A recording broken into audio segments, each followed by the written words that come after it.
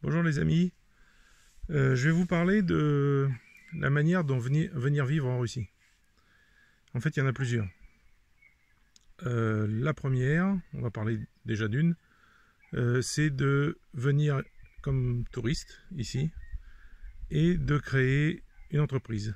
Donc une entreprise, ça se fait, il n'y a pas besoin d'argent, enfin très peu, peut-être euh, 50 euros peut-être. Il y a une procédure à suivre, vous faites euh, votre euh, création d'entreprise, ça s'appelle une IP. Euh, vous y mettez tout ce que vous voulez dedans, vous pouvez mettre que vous allez vendre des chaussures, que vous allez faire du pain, que vous, pouvez écrire tout ce que vous voulez. Et ça sera dedans. Toujours tou- tou- toujours est-il qu'il faut le faire dès le début si vous voulez vraiment faire une entreprise de quelque chose. Il faut vraiment inscrire ce que vous allez faire dès le début.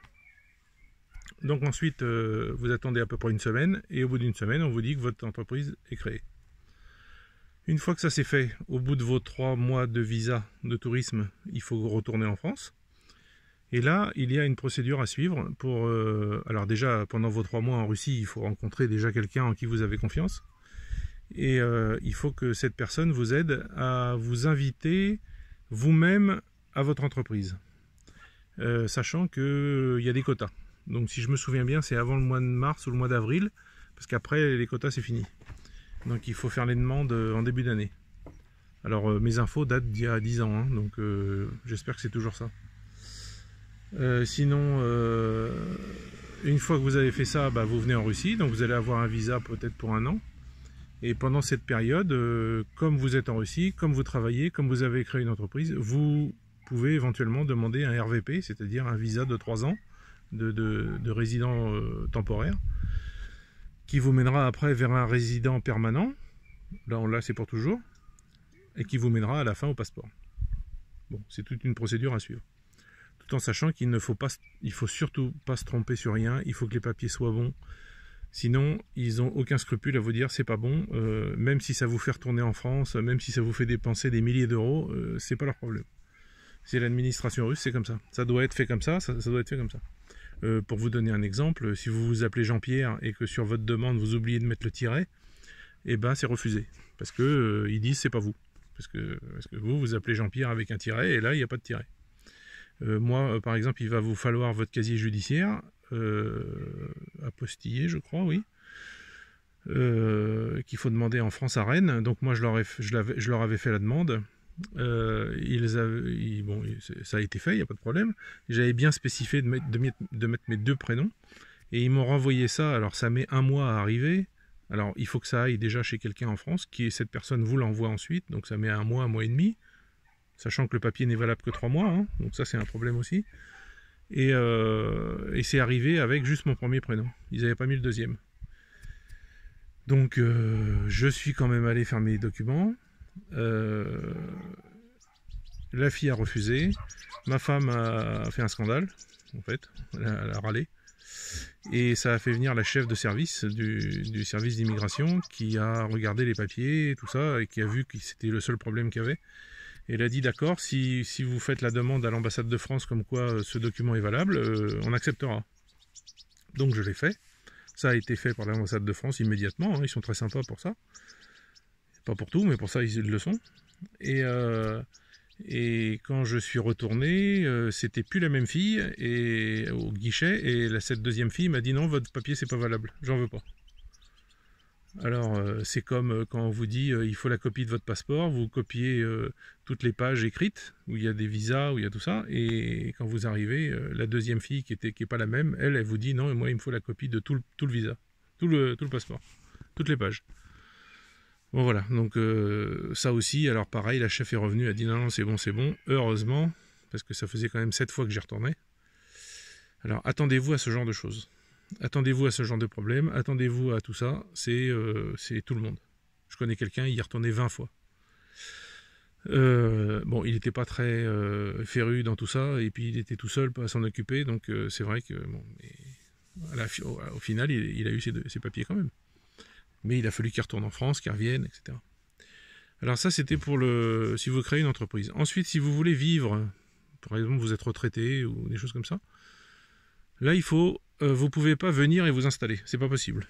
Il faut venir trois mois, visa de tourisme, vous repartez en France, vous revenez trois mois visa de tourisme, vous repartez en France, et vous revenez cette fois, troisième fois visa tourisme, et là vous pouvez faire une demande de résident temporaire, parce que en faisant votre demande, il voit sur votre passeport que vous êtes déjà venu trois fois. C'est la troisième fois que vous venez, donc la Russie vous plaît, donc vous savez ce que c'est, donc, donc euh, vous venez pas pour euh, n'importe quoi. Euh, voilà, c'est important de faire cette démarche. Et après, le reste de la démarche, bah, c'est la même en fait. C'est le, papier de résident temporaire de 3 ans qui vous mènera après au résident permanent. Donc tout ça, c'est. On s'en fait un monde. C'est un monde. C'est compliqué, c'est chiant. Euh, mais euh, il faut scrupuleusement suivre euh, les indications en fait. Et il faut que quelqu'un vous aide, parce que si quelqu'un, si personne vous aide, c'est hyper compliqué pour nous. En plus, il faut écrire en russe.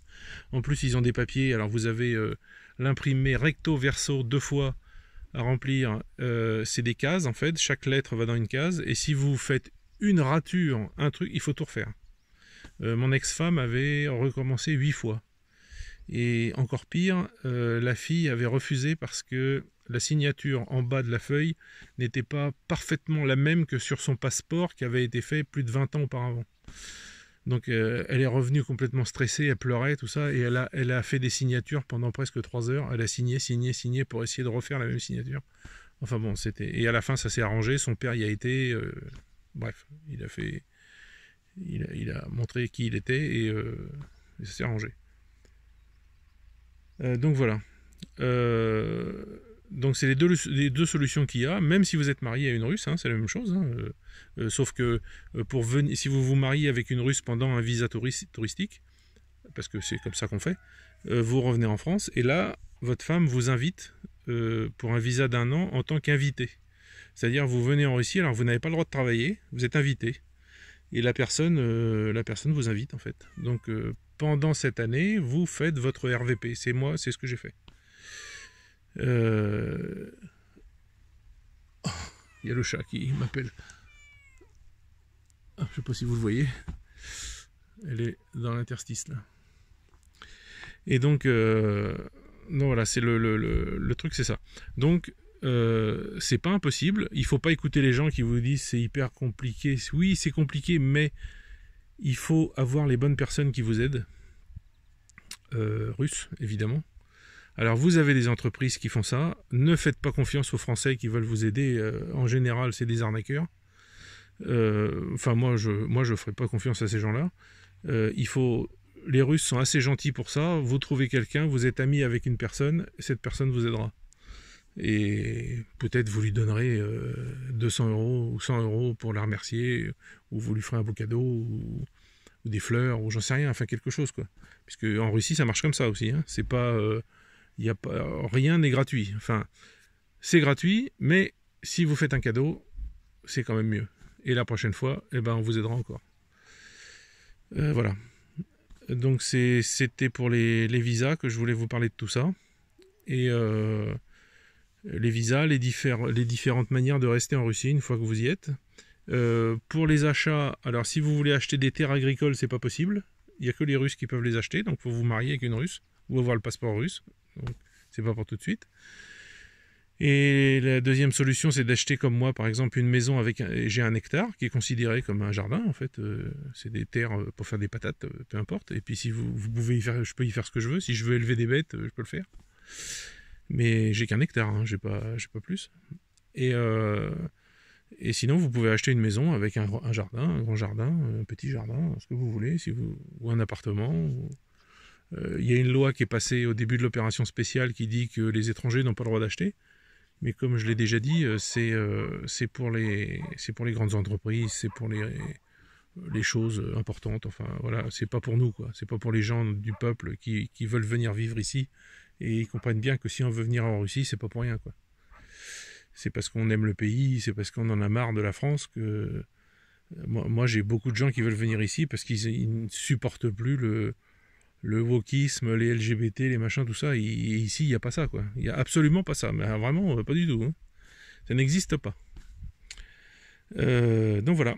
Eh bien écoutez, je vous souhaite une bonne soirée et j'espère à demain.